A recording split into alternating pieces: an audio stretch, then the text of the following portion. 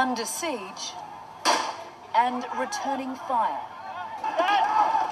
The military responding with rubber bullets and tear gas as the red shirts stormed the compound of the Thaicom satellite station.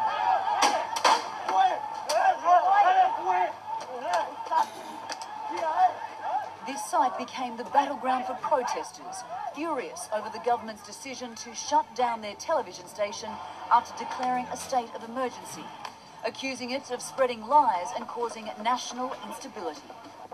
Must must be angry, must be angry because this is only only one way for us to know our news.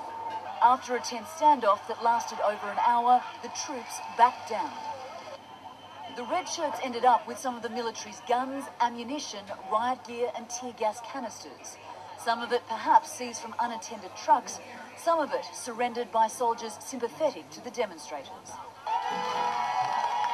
As leaders of both sides discussed how to resolve the matter behind closed doors, protesters celebrated what was quickly taking on the appearance of victory. The government warned the red shirts that if they entered the Thaicom satellite station here, that the military would crack down and use heavy force. That did not happen. In fact, the military and police are leaving.